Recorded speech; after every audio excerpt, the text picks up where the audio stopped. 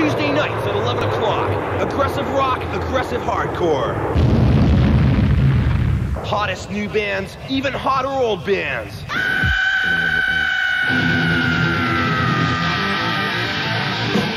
On CKLN 88.1 FM. Kill 'em all!